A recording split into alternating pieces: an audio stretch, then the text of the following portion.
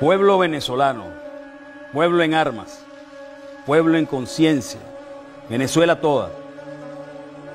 Nuestro suelo y cielo sagrado está siendo blanco de una guerra total y sin límites, sin ningún precedente.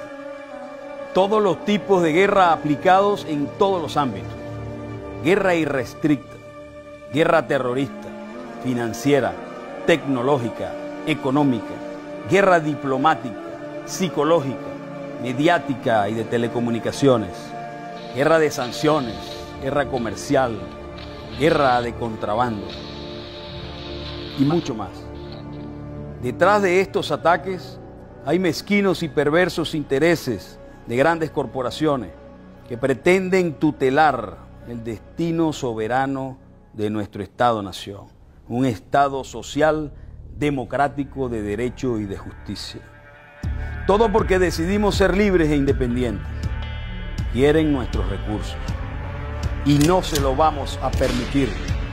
Es por ello que la Fuerza Armada Nacional Bolivariana y el pueblo organizado, comandado por nuestro presidente de la República Bolivariana de Venezuela y comandante en jefe, Nicolás Maduro Moro, y este Comando Estratégico Operacional, estamos preparados y fortalecidos en todos los ámbitos para dar la batalla en el terreno que sea necesario. Sepan los enemigos de la patria de Bolívar y Chávez que estamos resueltos a ser libres.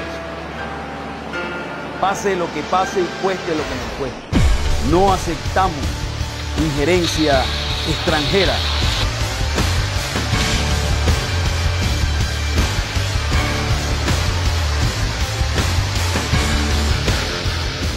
Nadie detendrá la marcha victoriosa de la patria de Simón Bolívar.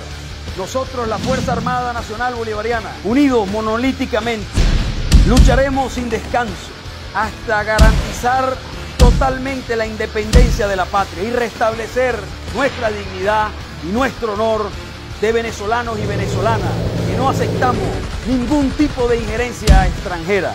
Somos libres porque nuestra historia fue forjada por cada uno de los hombres y mujeres patriotas que lucharon en su momento. Ahora nos toca a nosotros. Seguiremos adelante y venceremos. La patria no se entrega, la patria se defiende. ¡Chávez vive! La patria sigue. Independencia y patria socialista. ¡Y